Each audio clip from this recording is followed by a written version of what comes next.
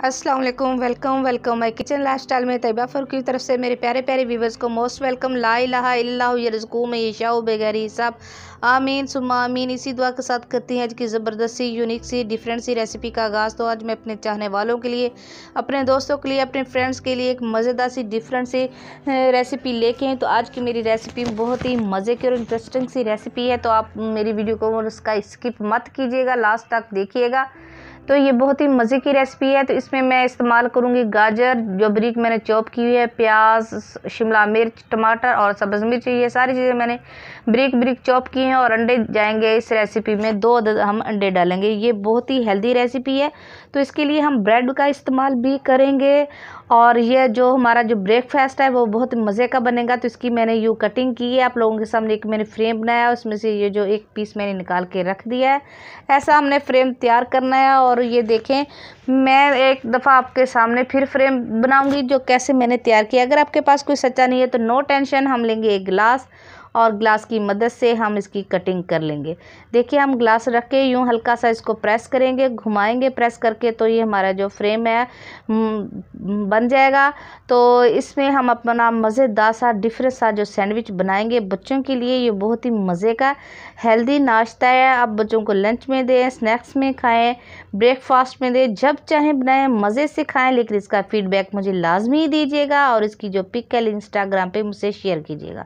तो जनाब अब हम फेंटेंगे अंडे अंडे जो हम हमने, मैंने दो लिए हैं, अगर आपने ज़्यादा बनाने हैं। जितने आपने ज़्यादा बनाना है, उतनी चीज़ों का जो आप इस्तेमाल ज़्यादा कर लें।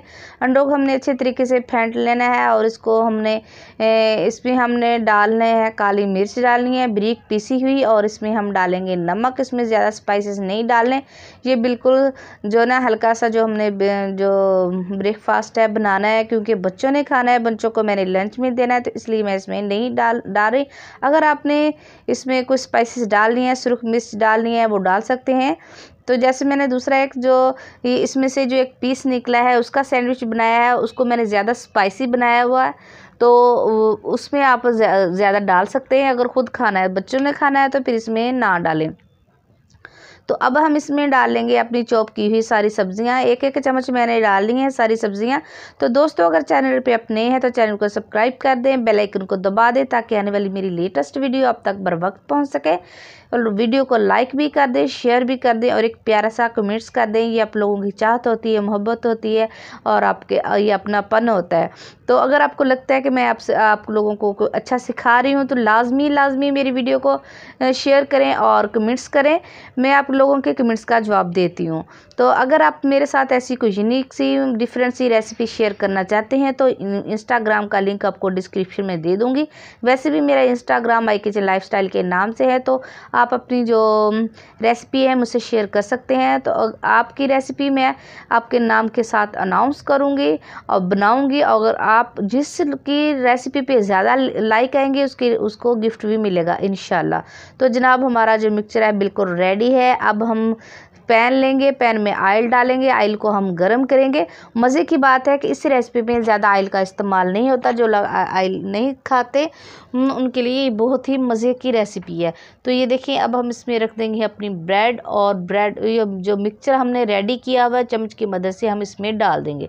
जब इसका कलर चेंज हो जाएगा तो फिर हम इसकी साइड चेंज कर देंगे। ये देखिए रहीम तो बिस्मिल्लाह पढ़ते हुए हमने ऐसे उसको इसमें डाल देना है। मैं ये नहीं कहती कि आप लोग बिस्मिल्लाह नहीं पढ़ते।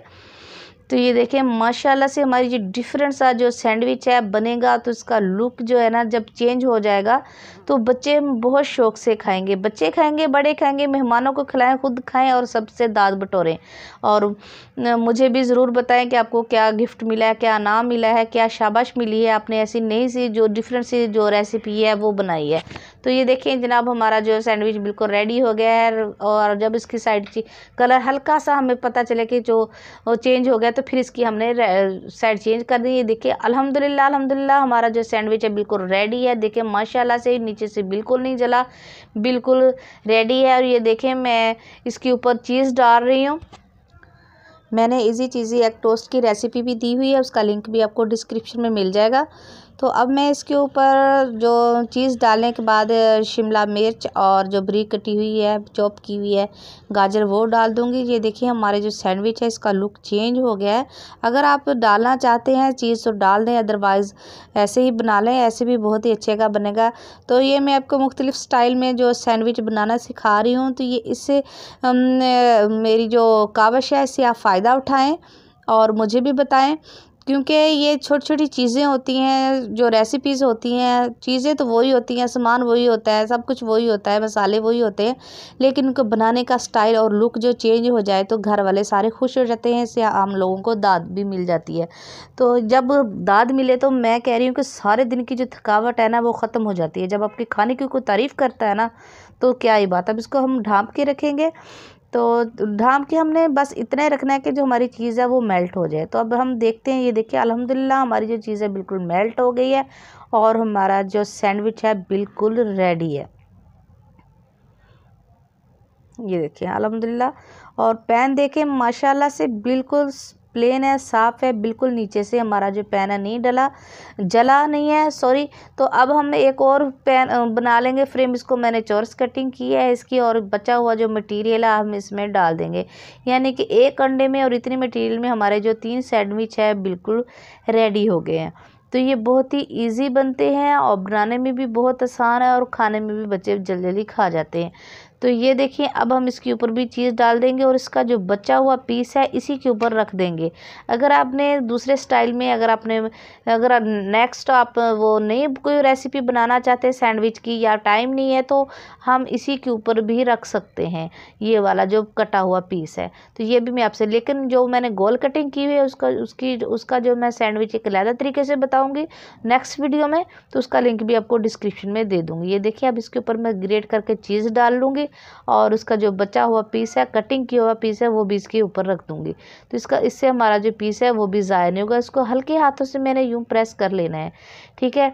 तो माशाला से ये बिल्कुल हमारा रेडी है सैंडविच अब हम इसकी जो साइड है, वो चेंज कर देंगे।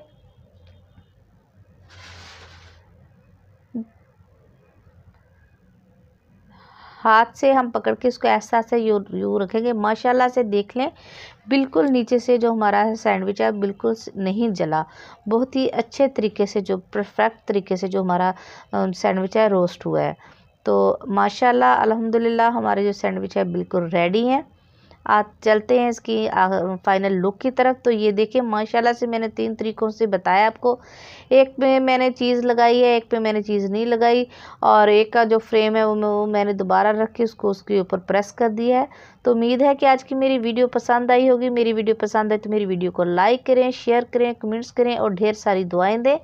तो ये देखें जी, माशाल्लाह माशाल्लाह मैंने अब इसकी कटिंग भी कर ली है। आप देखें इसकी कटिंग जो है ना, वो भी मैंने आप लोगों को करके दिखा दिया आप जैसे जो मर्ज़ी, जिस स्टाइल में मर्ज़ी रख लें, जो जैसे कटिंग करना चाहते हैं कर लें, लेकिन मैंने ये कटिंग करके आप लोगों को दिखाया है कि ये देखें, माशाल्लाह से बिल्कुल जो हमारा